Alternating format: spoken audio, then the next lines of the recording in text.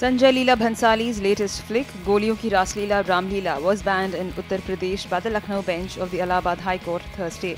A bench passed the ban order while hearing a petition filed by Maryada Purushottam Bhagwan Ramleela Samiti from Bahraich. In the petition, the Samiti claimed that the film, starring Ranveer Singh and Deepika Padukone, that released November 15, had controversial and objectionable dialogues and had sought the cancellation of the censor board certificate to the film.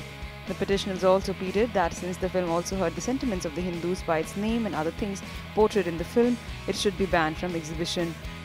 IANS report.